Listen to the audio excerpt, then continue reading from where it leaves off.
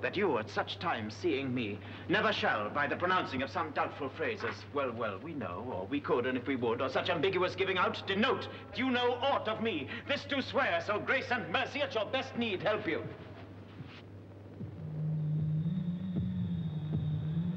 Swear.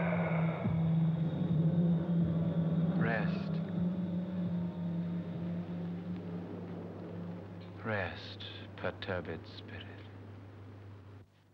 When, in 1937, you did Hamlet at, at, at the Old Vic, I believe you and Tony Guthrie worked out a rather original approach to the character.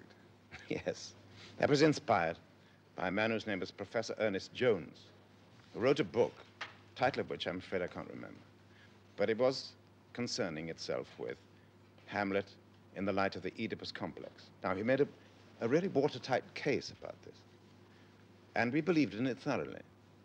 And although I will not go so far as to say that that's all the play is about now, I did in those days. I thought that that was the absolute resolution of all the problems concerning Hamlet. And it, for what little use it had, it at least gave one a central idea which seemed to fulfill the great vacuum provided by all the crossed ideas about Hamlet, what he really was, what he really wasn't, uh, whether he's a man of action, whether he wasn't a man of action. Now, he could perfectly safely be a man of action under the auspices of that particular idea that he couldn't kill the king because, subconsciously, of course, couldn't kill the king because he was guilty himself.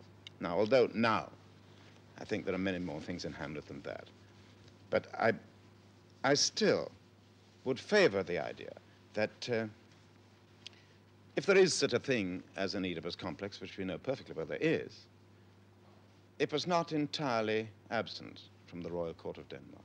How did you get on with uh, Tyrone Guthrie as a director? Oh, very well. Very well indeed.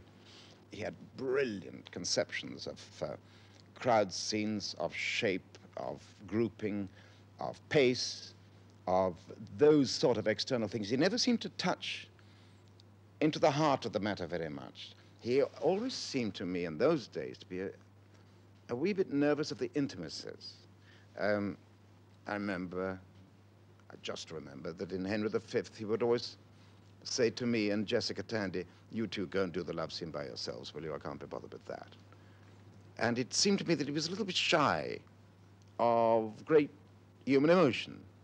In those first two seasons, pre-war at the Vic, you played, amongst other things, Henry V, Macbeth, Iago, Coriolanus, and Coriolanus was really acclaimed as a great performance. But did you think it was your best performance of the series? No, I'd obviously got much more proficient in that time. I had been on the stage now 13 years, and I suppose my voice had got deeper. Coriolanus doesn't require a very deep uh, mental faculty, I don't think. It doesn't require very great cerebral heights in, in the artist performing him. He's a very straightforward, reactionary son of a so-and-so, and, and it's quite easy to get onto him. And his thoughts are not deep. You've just got to appreciate what he is and make quite sure that he is a patrician, first and foremost, and um, that his pride is of the nature that he's too proud to even accept praise. 18 years later, at Stratford, you did new versions of Macbeth and Coriolanus. Did you Hmm. change your approach to the parts at all? Not in Coriolanus.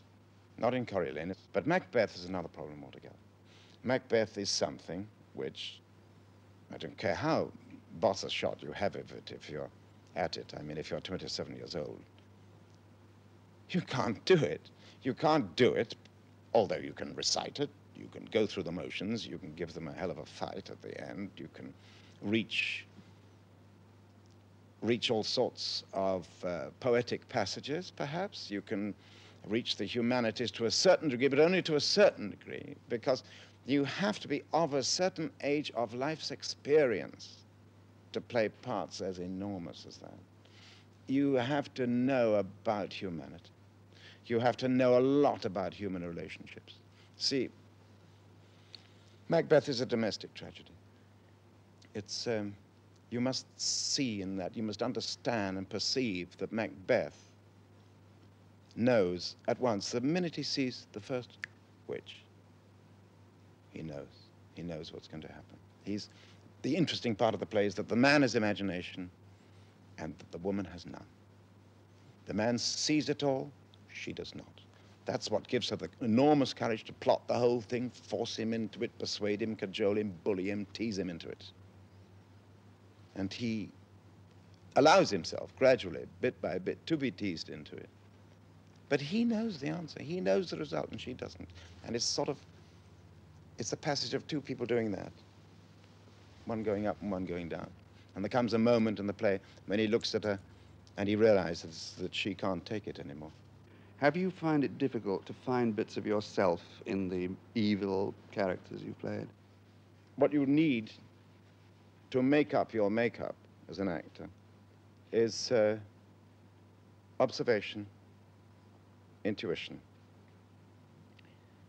You must, at its most highfalutin, uh, the most highfalutin expression of it, the actor is as important as the illuminator of the human heart. He's as important as the psychiatrist or the doctor, minister, if you like.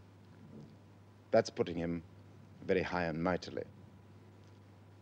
At the opposite end of that pole, you've got to find in the actor a man who will not be too proud to scavenge that tiniest little bit of human circumstance.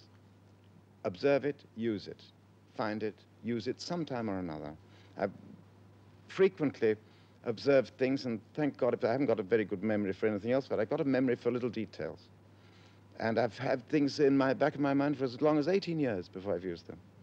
And the, perhaps in those little tiny things, maybe the key to a whole characterization. We're going to look now at a scene from the film of Richard III. It's the scene after Richard has successfully made love to the widow of one of his victims. Was ever woman in this humor wooed? Was ever woman in this humor won?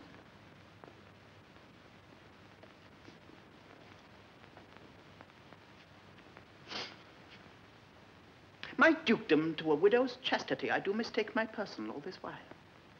Upon my life she finds, although I cannot, myself to be a marvelous proper man. I'll be at charges for a looking glass and entertain some score or two of tailors to study fashions to adorn my body. Since I am crept in favor with myself, I will maintain it to some little cost. Shine out, fair sun, till I have bought a glass, that I may see my shadow as I pass.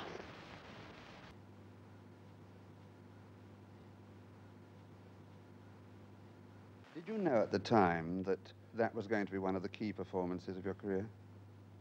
No. No. A lot of things contributed to it. I said, talking about scavenging just now. One thing that may lead an actor to be successful in a part, it may, not always, but may, is to try to be unlike somebody else in it.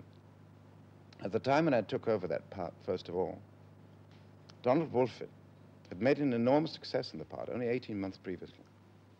And I didn't want to play the part at all, because I thought it was much too close to this colleague's success. And uh, I had seen it.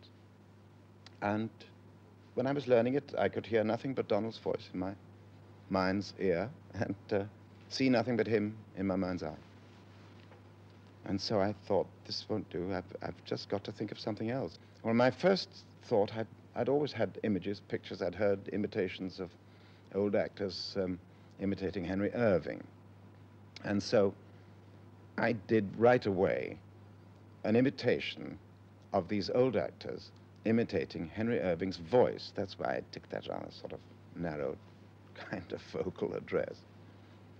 Then I thought about looks. And I thought about the big bad wolf. And I thought about a director under whom I had suffered in extremis in New York called Jed Harris. The physiognomy of the big bad wolf was said to have been founded upon Jed Harris. And so, hence the nose, which originally was very much bigger than it was finally in the film. And so with one